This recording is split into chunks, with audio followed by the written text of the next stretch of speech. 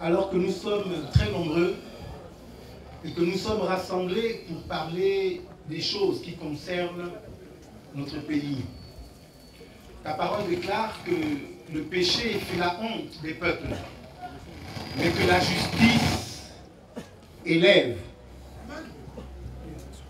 Mais que la justice élève une nation. C'est la raison pour laquelle, alors que nous sommes tous rassemblés, nous voulons remettre entre tes mains ces moments, soit au cœur de nos discours, soit au cœur de nos délibérations. Et Seigneur, dans le même temps, nous te présentons notre pays.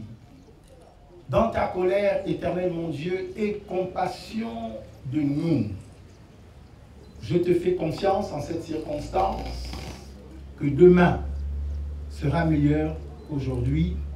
Je donne gloire à ton nom avec ton peuple rassemblé au nom de Jésus. Amen.